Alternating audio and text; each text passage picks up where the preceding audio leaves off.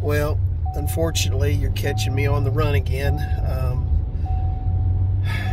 been several things happen this morning, so I'm getting this up late. But there have been several things happen today that have required, and I can't tell you what they are, but they've required patience and understanding and caring about some people who were going through a difficult time.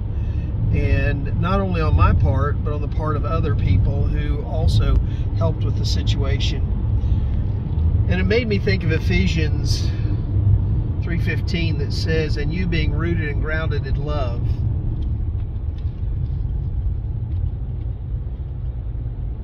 Talks about how as Christians the very foundation of what we're supposed to be, of course, is Christ. Our relationship with God through the Holy Spirit. If Christ is our foundation, then the foundation of our lives should be love.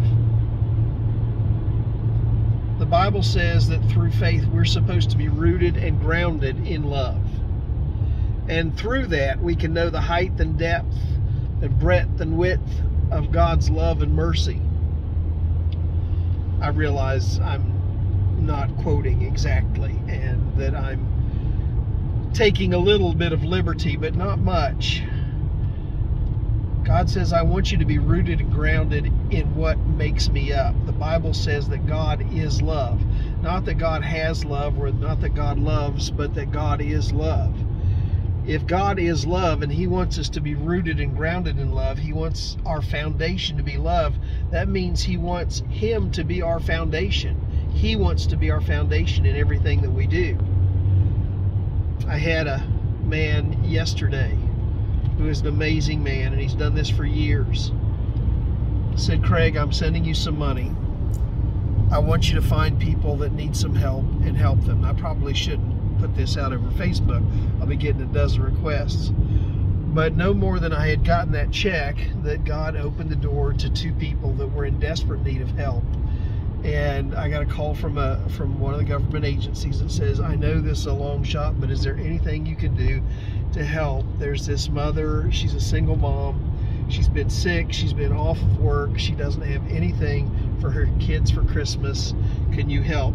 And boom, there dropped in my lap was the means to help.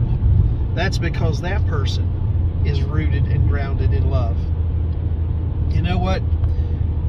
When we rest our lives upon the love of God, it's incredible what can happen. I've had two other situations this morning where people needed some help, and I was able to provide it because of the love that someone else showed. What about you today? How are you grounded? What is the root source of your life? If it's a relationship with Jesus Christ, then you are rooted and grounded in love. And I hope that's the case. Have a Merry Christmas. God bless you. Mom, if you're watching, I love you.